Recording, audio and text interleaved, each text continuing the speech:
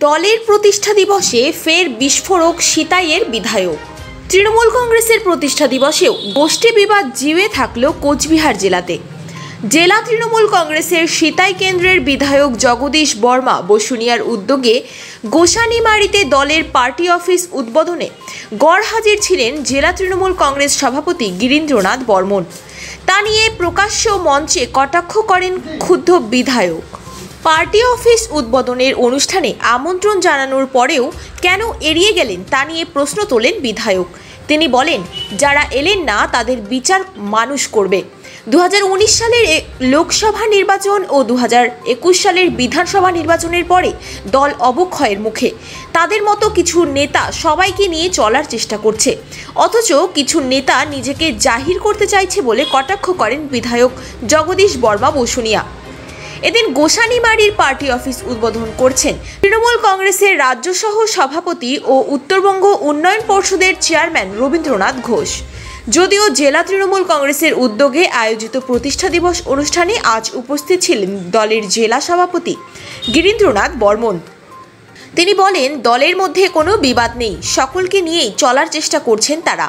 তবে তৃণমূল কংগ্রেসের এই বিবাদকে নিয়ে কটাক্ষ করেন বিজেপির বিধায়ক মালতী রাভা। তিনি বলেন তৃণমূল কংগ্রেসের এই দ্বন্দ্ব ও সংঘর্ষ বন্ধ হলে কোচবিহারের সাধারণ মানুষ শান্তি পাবে। নতুন বছরে তৃণমূল কংগ্রেসের আজকে প্রতিষ্ঠা দিবস। আমাদের এখানকার তৃণমূল কংগ্রেসের জেলার বর্ষিয়ার নেতৃত্ববৃন্দ সব উপস্থিত। রবিদা আছেন, উদয়নবাবু আমাদের চেয়ারম্যান আছেন, পার্থ আছেন, জলিলদা আছেন জিতেনবাবু আছেন, দত্তবাবু আছেন। আমাদের চেয়ারম্যান উম, মিনাতর আছেন আর অন্যান্য নেতৃত্ববৃন্দ আছেন।